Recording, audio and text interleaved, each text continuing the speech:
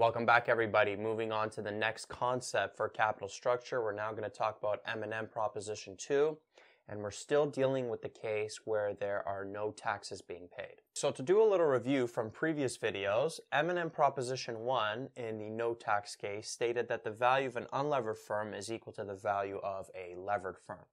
So the firm's value is independent of its capital structure. The capital structure doesn't matter.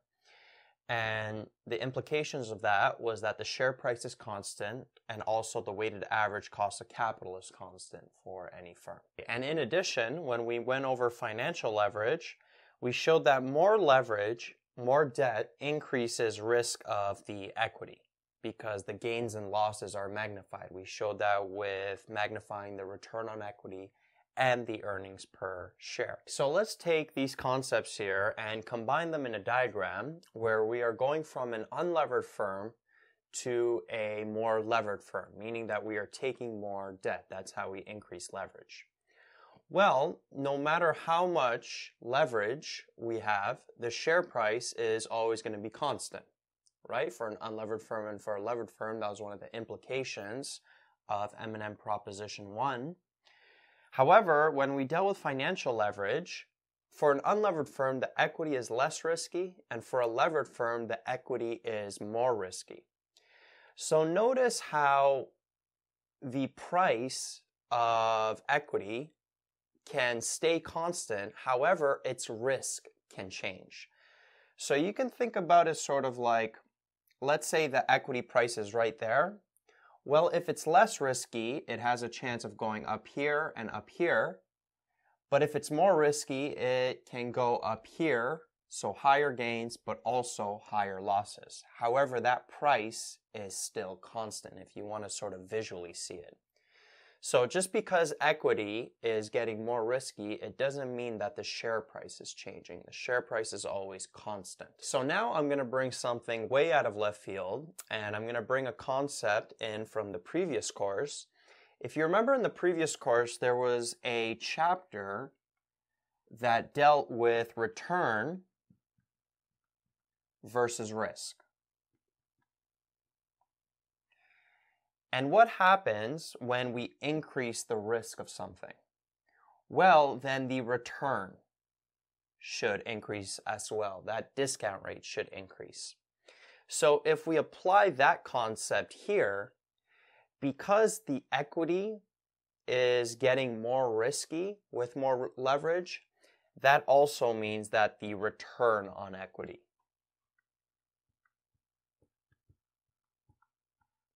is increasing as well.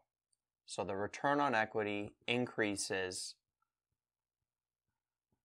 with more debt, with more leverage. And that basically is M&M Proposition 2 with the no tax case. So the return or cost of equity, both of those mean the same thing. Sometimes you'll see it labeled as RE, and we've seen this RE in the weighted average cost of capital formula so the return cost of equity increases with more leverage. That's M&M proposition 2. Now remember, this is still all happening with the share price being constant. Right? Just because that return or cost of equity is increasing, it doesn't mean that the share price is increasing as well. The share price is constant when you're dealing with no taxes. So just keep that in mind. Now there is a way to get a little bit more technical with this. And to do so, we have to go through the weighted average cost of capital formula. So if you remember, weighted average cost of capital is what? It's the weighted average of the return on debt, or the RD, and the return on equity which is what we're dealing with in this video, or this RE here. And sometimes there's preferred equity, but in this case, let's just deal with debt and equity. So then the weighted average cost of capital formula is just the debt over the value of the company times the return on debt plus the equity over the value of the company times the return on equity. Now, if you remember, return on debt usually has like a 1 minus t attached to it in the WACC formula. But we're not dealing with any taxes in this case, so we can leave that out.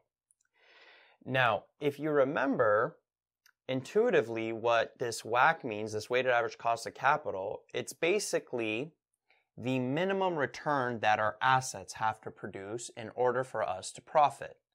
Because this weighted average cost of capital is what capital is costing the firm on average. So the firm has to make higher than that in order to make a profit.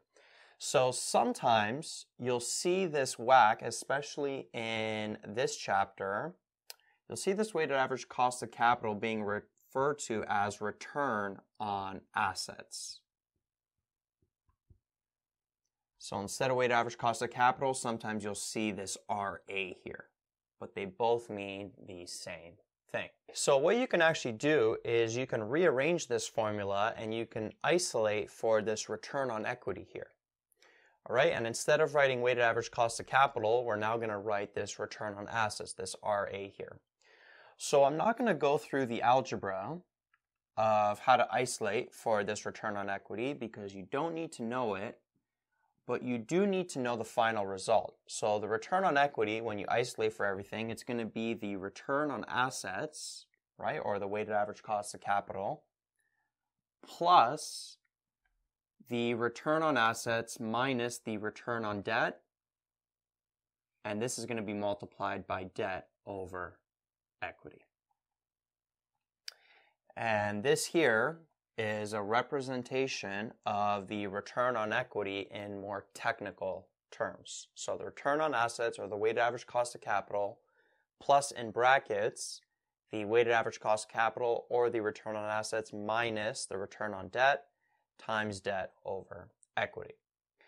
Now, if you remember from M&M Proposition 1, one of the implications was that the weighted average cost of capital is constant.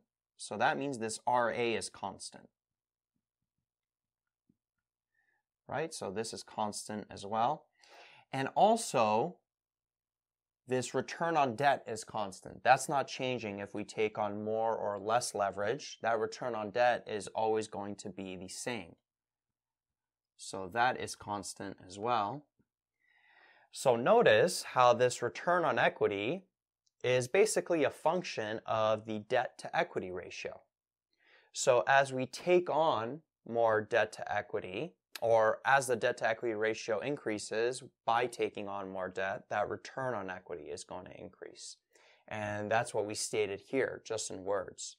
So this is M&M Proposition 2 in the no tax case with words. And then this here is M&M Proposition 2 with a formula showing it technically. The return on equity is increasing as you take on more leverage. And that is it for M&M Proposition 2 with the no tax case. Basically, two different ways to show it with words or with a formula, technically. Now in the next video, what I'm going to do is I'm going to take M&M Proposition 1 and M&M Proposition 2, and I'm going to summarize it together with the propositions and their implications. And I'm also going to show them together on two separate graphs. So I'm going to show them visually and that's going to be super useful when you are doing future questions that are related to this stuff. So you can go ahead and watch that video. Make sure you do.